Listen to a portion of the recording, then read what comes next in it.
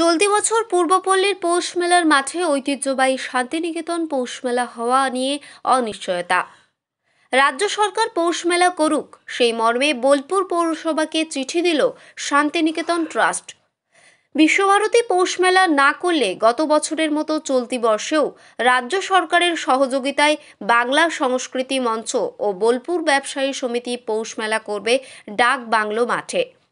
চিরাচরিত প্রথা অনুযায়ী প্রত্যেক বছর শান্তিনিকেতন ট্রাস্টের উদ্যোগে বিশ্বভারতীর পরিচালনায় শান্তিনিকেতন পূর্বপল্লীর পৌষ মেলার মাঠে অনুষ্ঠিত হয়ে থাকে কবিগুরু রবীন্দ্রনাথ ঠাকুরের ঐতিহ্যবাহী শান্তিনিকেতন পৌষ মেলা। সাতই পৌষ থেকে নমস্কার, আনন্দ বার্তায় আপনাদের স্বাগত।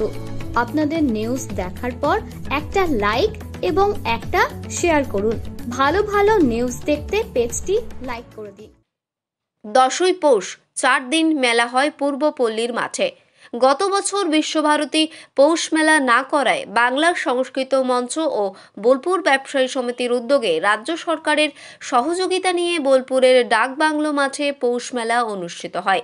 চলতি বছরেও শান্তিনিকেতনের ঐতিহ্যবাহী পৌষ মেলা হওয়া নিয়ে চূড়ান্ত অনিশ্চয়তার মুখে ইতিমধ্যেই শান্তিনিকেতন ট্রাস্টের তরফ থেকে ট্রাস্টের সম্পাদক অনিল কোনার রাজ্য সরকার তথা বোলপুর পৌরসভাকে চিঠি দিয়ে শান্তিনিকেতন পৌষ মেলা করার আহ্বান জানিয়েছে। ট্রাস্টের অভিযোগ, শান্তিনিকেতন পৌষ মেলা আন্তর্জাতিক খ্যাতিসম্পন্ন। বিশ্বের বিভিন্ন প্রান্ত থেকে মানুষজন এই মেলায় ভিড় জমান। ছোট বড় মিলিয়ে প্রায় সতেরোশো স্টল হয়। কিন্তু মেলা করার জন্য যে উপযুক্ত পরিকাঠামো দরকার, তা নেই ট্রাস্টের। বিশেষ করে পর্যাপ্ত পরিমাণ জল। পাশাপাশি শৌচাগার। এর আগে শান্তিনিকেতন ট্রাস্টের পক্ষ থেকে বিশ্বভারতীকে জানানো হয়েছিল। শান্তিনিকেতন পূর্বপল্লীর পৌষ মেলার মাঠ লাগোয়া চারটি বড় বাঁধ রয়েছে। সেখান থেকেই মেলায় আসা দোকানিরা জল ব্যবহার করে। কিন্তু বর্তমানে কচুরিপাড়ায় এই চারটি বড় বাঁধ মজে গিয়েছে। বিশ্বভারতী বাঁধ সংস্কারের ক্ষেত্রে কোনো উদ্যোগী হয়নি। খুব স্বাভাবিকভাবেই শান্তিনিকেতন ট্রাস্ট রাজ্য সরকারের শরণাপন্ন হয়েছে পৌষ মেলা করার জন্য। বিশ্বভারতী করছে না বলব না, কারণ করছি না, শান্তিনিকেতন ট্রাস্ট করতে পারছে না। তার কারণ হচ্ছে আমাদের পৌষমেলা মাঠ, পূর্বপল্লী মাঠ সংলগ্ন চারটি বাঁধ আছে, বড় বাঁধ। সেই বাঁধের জল সম্পূর্ণভাবে নোংরা এবং কচুরি পানাতে ভর্তি হয়ে আছে, যেখানে লক্ষাধিক লোক মেলা করে যারা ফুটপাথ স্টল, দর্শনার্থী, তারা ওই বাঁধ ব্যবহার করে। সেই বাঁধ আজকে আবর্জনা মুক্ত না, সংস্কার মুক্ত করলে মেলা করা সম্ভব নয়। আমাদের সেই পরিকাঠামো নেই রাজ্য সরকারের মতো যে ডাকবাংলো মাঠে সমস্ত জেলার ট্যাঙ্কার জলের ট্যাঙ্কার নিয়ে এসে নির্মল বাংলা করে ওটাকে মাঠে মেলা করা। সেই পরিকাঠামো আমাদের নেই। আর এত বড় মেলা, আমাদের প্রায় সাতাশি হাজার স্কোয়ার মিটার এরিয়ার ওপর সতেরোশো স্টল এবং এক হাজার ফুটপাথ স্টল। এই লোকজনের মেলা ওই মাঠ ছাড়া মানে বাঁধের জল ছাড়া সম্ভব নয়। পৌরসভাকে কি পৌরসভাকে আমরা বলেছি যে আমরা এই কারণে করতে পারছি না জলাশয়ের অভাবে। কাজেই আপনারা গত বছর মেলা করেছেন পৌষ মেলা করেছেন এবারও পৌষ মেলা করুন। কোথায়? ডাকবাংলো মাঠে বোলপুরের ডাকবাংলো মাঠে। বোলপুর পৌরসভার চেয়ারম্যান পর্ণা ঘোষ জানিয়েছেন, আমরা গত বছর পৌষ মেলা করার ক্ষেত্রে সমস্ত রকমের সহযোগিতার হাত বাড়িয়ে দিয়েছিলাম। ব্যবসায়ী সমিতি ও বাংলা সংস্কৃতি মঞ্চকে এবারেও সহযোগিতা করব। সব থেকে ওনারা যে ভেবেছেন এটার জন্য তো ওনাদেরকে অবশ্যই ধন্যবাদ। কেননা শুধু আমাদের বোলপুর কেন? পশ্চিমবাংলা তথা গোটা ভারতবর্ষ তাকিয়ে থাকে এই মেলাটার জন্য। এটা আমাদের বড় আকাঙ্ক্ষিত উৎসব বলো বা অনুষ্ঠান বা যা কিছু না আমাদের একটা আনন্দের বিরাট জায়গা। তো সেটা নিয়ে ওনারা চিন্তাভাবনা করছেন। তবে চিঠি কিন্তু আমরা এখনও পর্যন্ত হাতে পাইনি। চিঠিটা হাতে পাই তারপর আমরা ভেবে দেখব। হ্যাঁ, আমাদের সহযোগিতায় হয়েছিল বোলপুর ব্যবসায়ী সমিতি। উদ্যোগে হয়েছিল মেলাটা। আমাদের পৌরসভা তার যথাসম্মান সাধ্য করেছিল আর কি চেষ্টা করেছিল। হ্যাঁ মানে চিঠি পেলে কি তাহলে বাংলা সংস্কৃতি মঞ্চ বা ব্যবসায়িক সমিতি এটা চিঠিটা? চিঠিটা আমরা হাতে পাই। তারপর আমরা আমাদের যে বাইশটা কাউন্সিলর আছে হ্যাঁ সবার একটা মতামত নিয়ে বা আমাদের উপরিউক্ত যে সমস্ত দাদারা রয়েছেন বা বিশিষ্ট বোলপুরবাসী যারা রয়েছেন আমরা সবাই মিলে একটা আলোচনায় আসব হ্যাঁ তারপর সিদ্ধান্ত।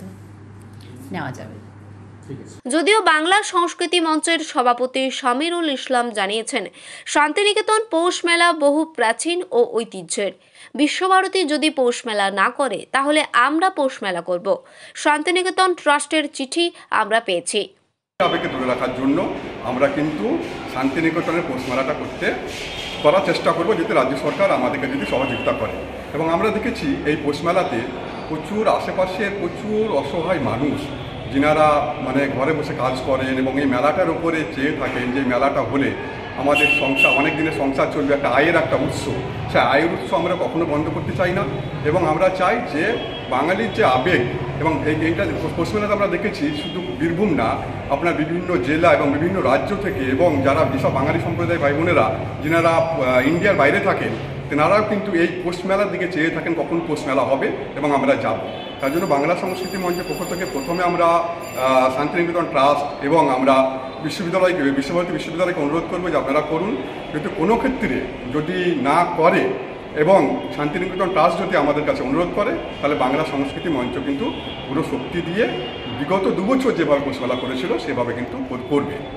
তো সবাই জানি যে বিশ্বভারতীর সমস্ত ঐতিহ্য বর্তমান যিনি উপাচার্য আছেন, তিনি ভেঙেই দিয়েছেন। সেই ঐতিহ্যটাকে বজায় যাতে থাকে, সেটা শান্তিনিকেতন ট্রাস্ট খুব ভালো মনোভাব নিয়ে বোলপুর পৌরসভা এবং আমাদের হস্তশিল্প ব্যবসায়ী এবং ব্যবসা সমিতিকে চিঠি করেছেন। হ্যাঁ সেই জন্য আমরা তাদেরকে আগ, আগাম আন্তরিক অভিনন্দন জানাই এবং আমরা চাই যে এটা সুষ্ঠুভাবে যে মাঠেই হোক, সুষ্ঠুভাবে এই মেলাটা যাতে রাখা যায়, সেটার জন্য আমরা আগ্রহী। আমরা কি চাইছেন? না আমরা তো চাইছি রবীন্দ্র ঐতিহ্য সমস্ত কিছুই যেন বোলপুর তথা শান্তিনিকেতনবাসী এটা বড় শুধু এটা না এটা আন্তর্জাতিক স্তরের মেলা। সেখানটায় এটা কেউ কোনোভাবে তার ব্যক্তিগত সম্পত্তি নয় যে এটা বন্ধ করতে পারে সেই আমরা আন্তরিকভাবেই চাইছি যে এই পোষমেলাটা অবশ্যই হবে এবং কীভাবে হবে সেটা আমাদের ঊর্ধ্বতন কর্তৃপক্ষ যারা আছেন তারা এটা চিন্তাভাবনা করবেন। বীরভূম থেকে কাজী আমিরুল ইসলামের রিপোর্ট আনন্দবার্তা।